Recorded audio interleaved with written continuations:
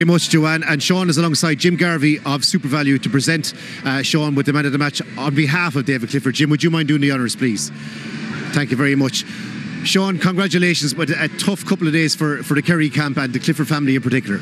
Yeah, absolutely. I mean, uh, very tough, I suppose, to kind of put sport into perspective. Really, there's know, a lot more important things in life than, than football, and I suppose we're lucky to be able just to come out here and, and express ourselves on a pitch on a given day. But um, you know, we know it's been an incredibly tough day um, for the two boys. I suppose it shows the character of them to to come out and just play like play like they did there, give it all, and. Um, we're thinking of the two lads especially and, and Dermot and Shelley and all the extended Clifford and O'Shea families at this time. And Sean, just a final word.